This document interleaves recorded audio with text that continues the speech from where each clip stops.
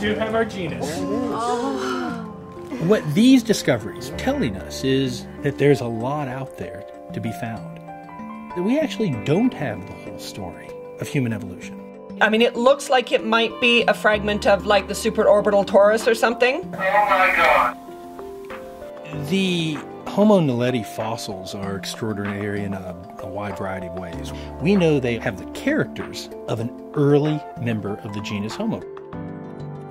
By comparing their morphology to other early hominids, we can see that we would place them right at the base of the lineage that leads to us.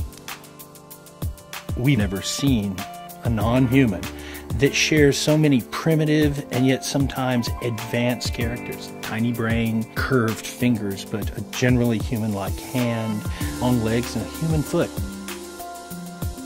Looking at well over a dozen, in fact, probably around 18 different individuals, representing all different age spans from near fetal age to senile individuals who were at the last stages of their lives.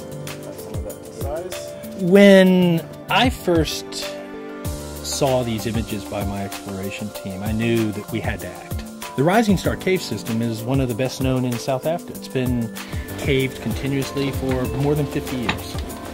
I had this fossil lying on the surface, and I could see that it had been damaged. So I called National Geographic to put together an expedition fast. How are you getting inside? The entrance is very, very difficult. To get to it, you have to move through a seven and a half inch slot, wiggling your way across sharp rocks before you drop into this remarkable little chamber. And the floor is quite literally comprised of parts of the bodies of these human ancestors. Seen that now on the TV. Look at this. Whoa! Tell them they're a go to collect. All right. You got the fossil. huh?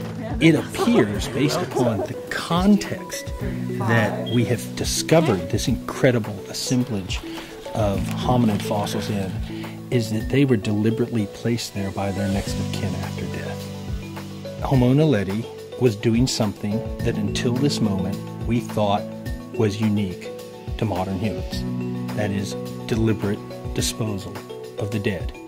If this hypothesis holds true, that's an extraordinary What Naledi has taught us is that there is clearly more out there that we didn't know.